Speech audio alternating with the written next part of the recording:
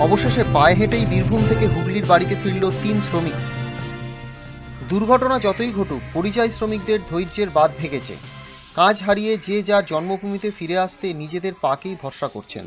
এবারে বীরভূমের রামপুরহাট থেকে হুগলির পোলবায় পায়ে হেঁটে ফিরল তিন শ্রমিক।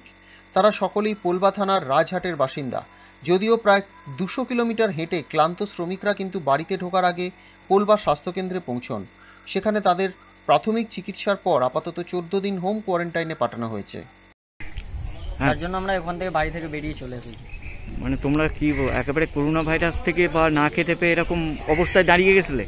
আমরা না খেতে পারছিলাম না ওখানে আর কি রুম থেকে বেরোতে পারছি না খেতে পারছি না কি করব? কাজকর্ম নেই টোটালি অফ তোমাদের বর্ডারে কেউ আটকায়নি?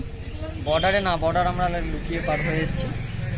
তোমরা কোথায় রেল লাইন ধরেছিলে না সড়ক পথ আমরা রেল লাইন ধরেছিলাম। রেল লাইন ধরেছি আর বর্ডার ক্রস করার সময় অনেক দূর থেকে ঘুরে ঘুরে অনেক জার্নি করে রাতের বেলা আমরা পার হয়েছি border।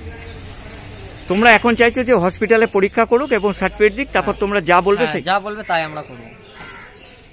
আমরা যার জন্য আমরা বাড়িতে যাইনি আমরা এখানেই আছি। যাতে পরিবারে কারও পাড়ার কারও অসুবিধা যেন না হয়। একজনকার জন্য তো আর দশজন ভুগতে পারে না। তার জন্য আমরা এখানে ডাইরেক্টলি চলে এসেছি। তোমার নাম? আমার নাম সোমনাথ মাঝি। যারা একে একে আসছে। কীভাবে হসপিটালে ট্রিটমেন্ট থেকে সুমন করাতি টাইমস বাংলা একদম নিশ্চিতভাবে বাড়িতে থাকবে। বাড়ির লোক